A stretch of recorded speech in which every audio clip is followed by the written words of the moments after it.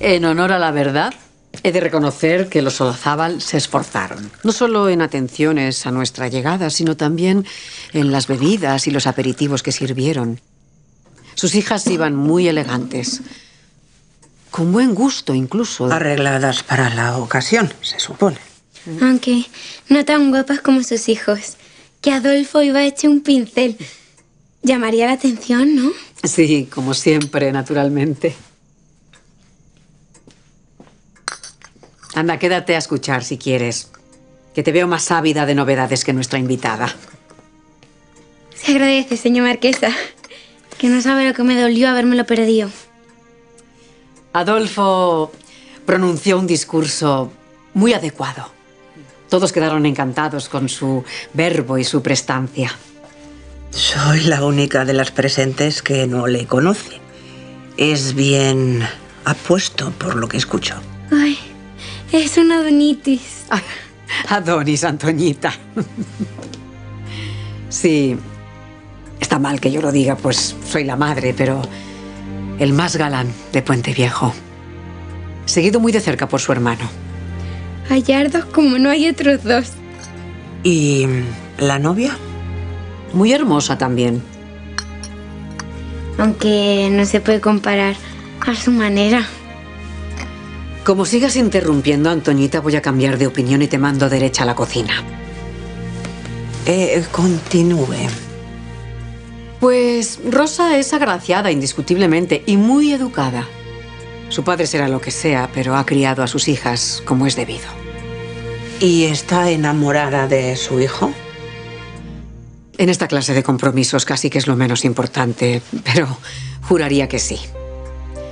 Al menos su forma de mirarle la delataba.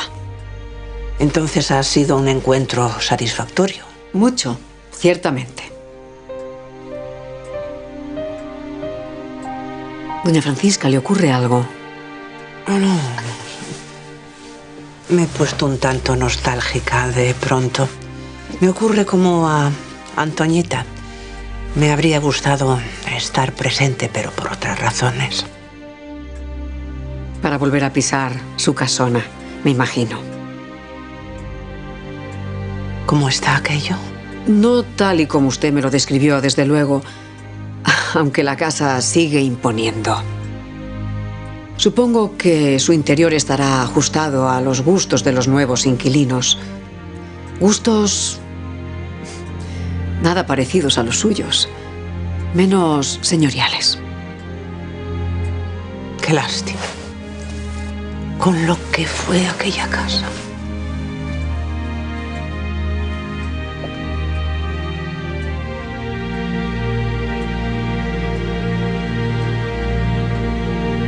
Por la confianza que nos profesamos, cuento con su voluntad para que no falte un detalle en la bienvenida oficial de mi hijo. Siempre a su servicio, doña Francisca. Me consta. Ni que decir tiene que ustedes estarán aquí como máxima autoridad civil y eclesiástica. Muy honrados. Y si bien será algo sencillo, no por ello deslucido. Tengo pensada una lista de invitados con todos los principales de la comarca. Propietarios, autoridades. Acudirán encantados a presentar sus respetos. Encantados o no les haremos saber que los montenegros están juntos de nuevo. ¿Sigue bailando? ¿Qué? ¿Qué hacéis con ese trasto en la cocina? Buenos días, doña Francisca. Le estaba enseñando a Mariana el, el noble arte de la danza. ¿A ti se te paga para que trabajes o para que andes perdiendo el tiempo en zarandajas con ese botarate? Disculpe, señora. No, no, no.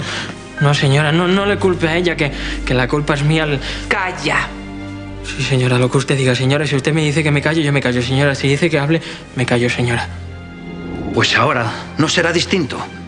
Trabajaremos juntos. Los ricos con los pobres, los humildes con los poderosos. Sin mostrar la más pequeña fisura. Todo esto suena muy conciliador. Pero no ha respondido a la pregunta de Severo. ¿Cómo? ¿Quieres saber qué haremos?